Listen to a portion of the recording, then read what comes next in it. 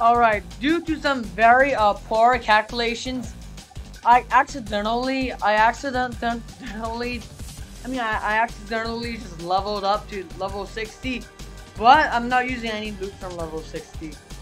So, and I'm, I'm, I'm, I'm gonna demonstrate the boss fight, the final fight between me and, and uh, the ice elemental. Alright, let's go, we can do this.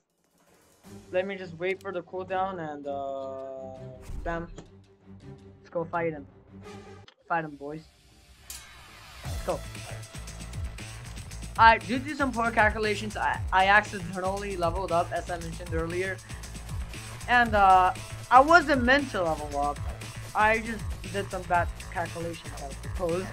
that was very stupid.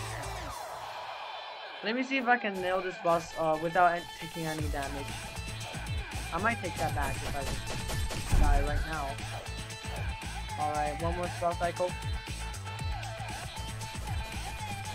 Alright, so we did the boss without taking any damage. I took them earlier, I didn't take it now. S! And uh, in this video, I didn't take any damage in this re recording, so that's a proof. And uh, I think I, I even did a round without taking damage, as you can see here. Uh, I think it's somewhere over here.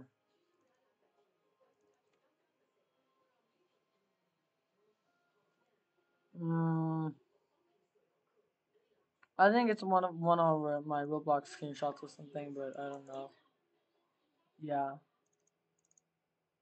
No damage chicken. I think that was like, yeah, nightmare mode. Wait, that was insane mode. Never mind.